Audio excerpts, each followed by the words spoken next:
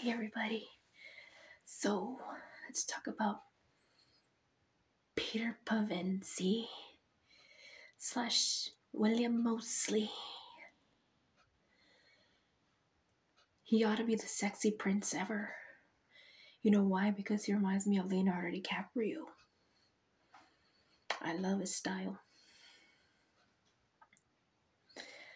Let's say this Leonardo DiCaprio and William Moseley have got to be related.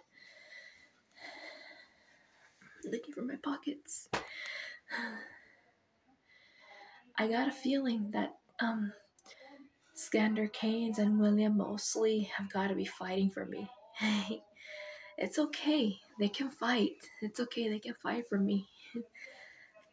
they can both rescue me. Both of them can rescue me. I can already hear the knock on my window where they can come and rescue me. Oh my goodness.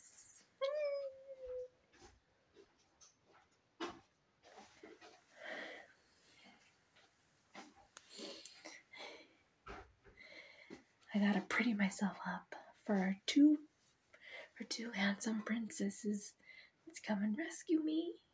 Oh. Right, Sammy? My parrot.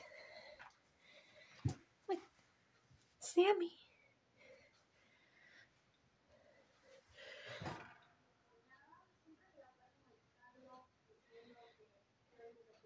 He, he's on the edge of the cage. And I got another question. I got another question. Um, who would you rather go for? Edmund Pevensie.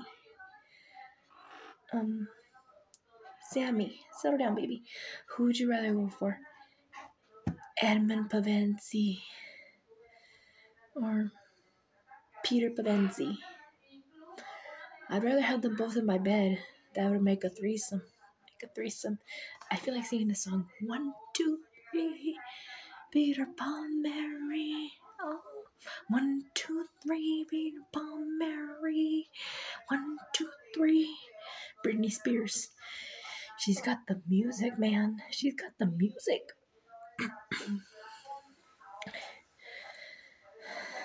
I feel like I have Disney World all over my room. I have so many princesses pictures over here on the side of my room. My nephew calls my room Disney World because of my princess pictures that I'm drawing. Wait until my room's done and I have the poster of the Chronicles of Narnia. It'll be just like Disney World. It'll be like a princess's world. Alright, guys. Thank you.